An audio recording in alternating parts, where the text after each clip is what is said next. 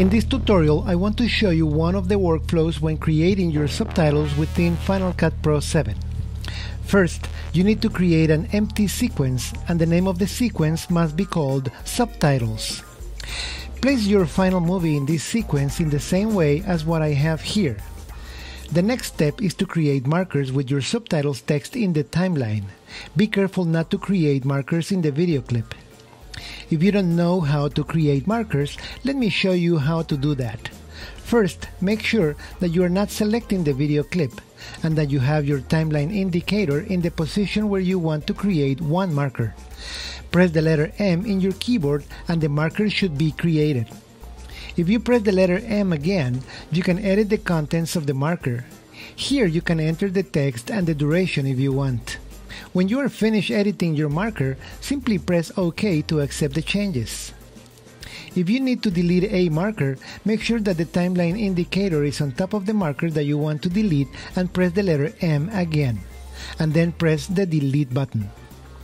As you can see, I have already placed several markers in the timeline, and I can go to the previous marker by pressing the Shift key on my keyboard while I press the arrow up or arrow down keys, so that the timeline indicator jumps from marker to marker.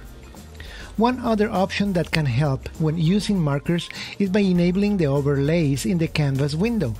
That way I can see the contents of every marker when the timeline indicator is positioned on top of a marker. Creating subtitles is a manual labor and you need to have the transcript already typed and ready to use unless you have your own service provider do it for you. Since I am doing it on my own, I am going to continue entering the markers for the rest of the clip and I already have my transcript on a text file. For this tutorial, I am going to move and arrange these windows so that I can see the text file and the application at the same time in the same monitor. The process is as simple as a copy and paste procedure. Select the next subtitle text and copy it. Now go back to Final Cut Pro 7 and let's enable the audio waveform that can be very helpful to place the markers more accurately. Hit the spacebar to play the video clip and to identify where the next subtitle starts. Place the timeline indicator to the beginning of the dialog and make a new marker by pressing the letter M in your keyboard. Press M again to edit the marker. Press the Command V keyboard combination to paste the data we just copied and it should overwrite the text in the name of the marker. Press OK to accept and we just have created a subtitle standard marker. Continue doing the same process for the following subtitles until you are finished. The standard markers will use an automatic duration that we can set when the data is imported back into the subtitles plugin. However, there are times when you want to have the precise control over the duration of a subtitle.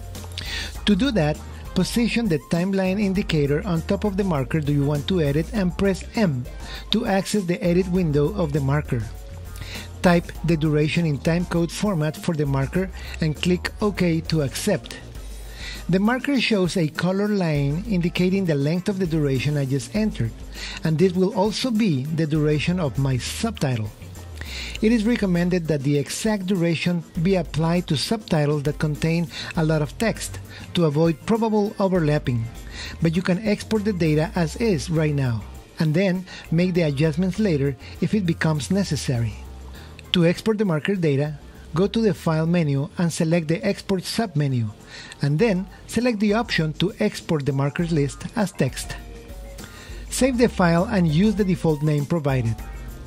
Now click and select the video and to apply the subtitles filter, go to the effects menu and select the video filters submenu and look for the SUGARfx subtitles and select the subtitles filter.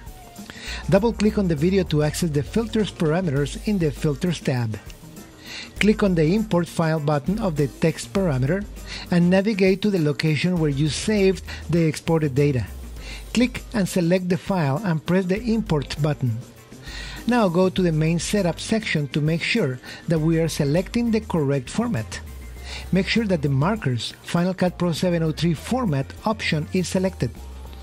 By default, the filter shows the information box on top of the video.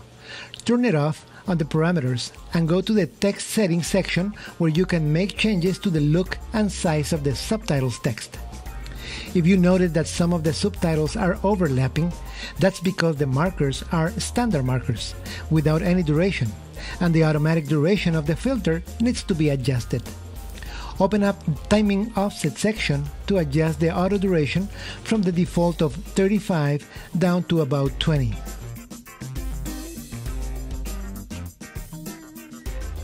If you want to add precise timing to a standard marker, move your timeline indicator to where the marker is and make sure that your video clip is not selected and press M to edit the marker. Add the duration that you need and press OK to accept. If the duration you enter was too long or too short, you can press M again to edit the duration one more time until you are satisfied. You must export the file again and replace the previous file. Go back to the filter and click Import the text again to replace the data. And the subtitle in question should have the correct duration. Finally, to fine-tune the position of your markers, press the Command key and with your mouse select the marker that you want to adjust and move it to the desired location in the timeline. When finished, do the export and import procedure once again. Thank you for watching. For more plugins, transitions, or effects from SUGARfx, please visit our website at sugarfx.tv.